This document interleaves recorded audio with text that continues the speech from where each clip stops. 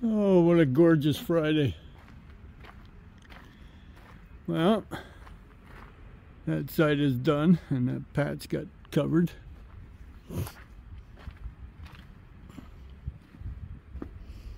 Yeah, had somebody stop by and bring me some aluminium. Probably worth 10 bucks. And this side's done. I just finished painting it this morning about 8 o'clock when there's no wind. There's like a tunnel in here. You can see a fog. I tried yesterday, but you can see a fog of overspray and hot. Nah, that ain't good. So, yeah, looks pretty nice. I just got to do the back yet. This wall is never meant to be permanent. These are two sliding doors, you know you turn them sideways you can see the handle for uh, a tin shed I want to put complete from that down. So yeah. I have more stuff. Where did I put it all? See it's all hidden in here. That is roofing steel. That's the way it goes like this. I don't know if I can incorporate it into that wall or not. We need some J channel up top, you know, to tuck it in. It's still going to vent. You can see inside the building. It's always going to vent, but I'm keeping the critters out. See? I can barely get my fingers in there. But this is never meant to be sealed tight, tight, tight. That's what it looks like on the inside. Maybe throw some paint on the inside too, blend it all in, but see that back wall there. And then the top of this one yet. It's just plastic I got up there for now with duct tape, just covering it up. It's plastic cardboard. No.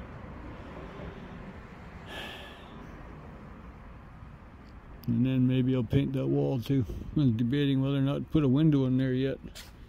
Let's in more light. Hot barbecue chicken. Oh look, I got more magnets. I got so many. And then I took the tarp down on both sides. I gained about another 100 magnets because I was using the magnets to hold the tarp a little bit. So I have some stuff where I can actually probably seal that all up if I really want to. I'm not sure. And then realizing moving some stuff around here. See that? Because we're flooded. It's all particle board. I think it's all no good. I don't know what I was going to do with it anyways. There's a whole bunch of it here. I got it for nothing. Came from a, a cabinet shop. So, yeah. Almost looks like glass. It's plastic.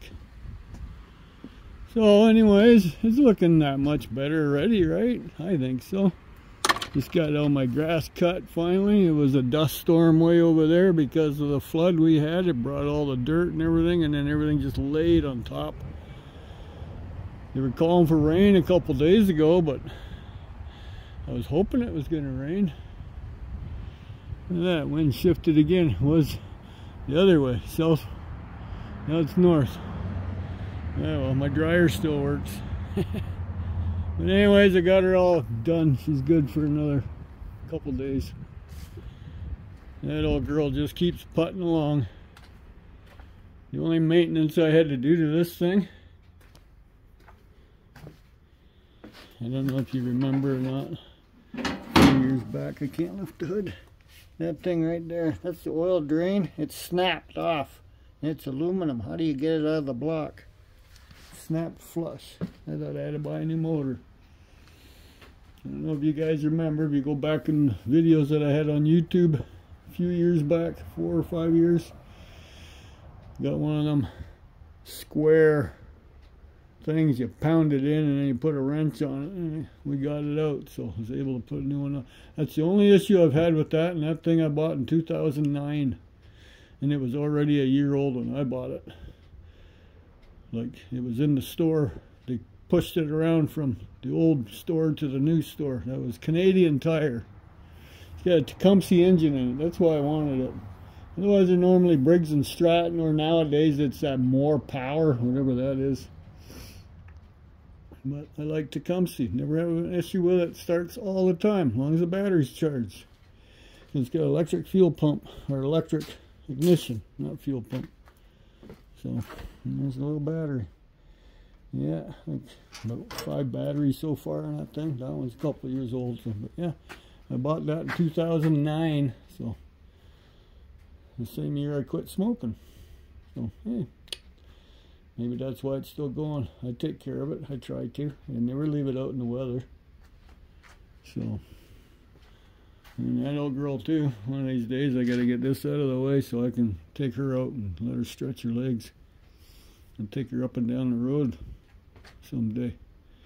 So I did get it running last year, the year before. Don't remember now. But I did fix it. Put the new uh, rods, push rods in it. And tappets. So she did run because you heard it. Anyways, getting off topic. That's what I wanted to show you. I like that color. It's called a meadow green. It's an awesome color. Meadow green. It's paint and primer combined. No wonder why. And it dries quick. Like it's quick drying paint. I paint my truck that color too, but then you gotta change the ownership because you change the paint color of your truck. That's how they get you. They give you a big ass fine for that. the box used to be green, remember? There it is there. That's the original. Yeah, I'm sorry, but I won't promote the body shop I went to. It took a month to do the little bit of work they had to do. And uh, they didn't do the greatest job, so. I will not promote them. Anybody looks for a body shop? I don't know. Where'd you go? I don't know. so, yeah. We got to clean that up, get that stuff back organized again. I want to get rid of this fridge. I want to put a freezer here instead. It's neater and takes up less room. But I got, that'd be a lot of work to unload this. And then this thing sweats pretty good.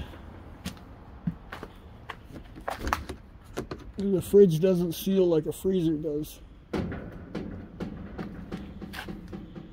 Yeah, there's a few thousand pounds in there. What's in this one? Look, more hydro cords. Yeah, it's sweating in here too. Almost need to drill holes through it and put vents in it. It's not breathing. Just leave it open for a while. That's just some of them. Oh, I got another ant. Man, oh man, I just touched that tree. There he is. He fell. I just touched that tree, you know, and they fall right on you. That tree is covered in ants. Had a whole bunch on me yesterday when we were doing the steel. There's a freezer. There's one back there. There's one here. There's barrels full of motors. Yeah, I got a lot of work to do yet. What's in there? Transformers and stainless steel hoses. You know, the braided hoses. They have to be cleaned up. Buckets of plugs. Back there's all motors. Motor, motor, motor, motor, motor, motor, motor. And back in behind is motors. See? Motors. Those are all copper. That's why they're in there. Yeah. Can't forget Old Faithful. There's a building around the back here that has motors in it too. I can't get into it. Yeah, this is an empty one. There's two empty ones over here I can use. That one that's leaning, that one's full of motors too, and it's locked shut, but can't get in there because, hello. yeah. Still think the wall looks good. Long-winded. You know what? I think I might go for a bike ride this afternoon. I'm sold out of fire pits, except this one. I have no fire pits left except that guy. Some people do like them. Old truck rim. It's been used.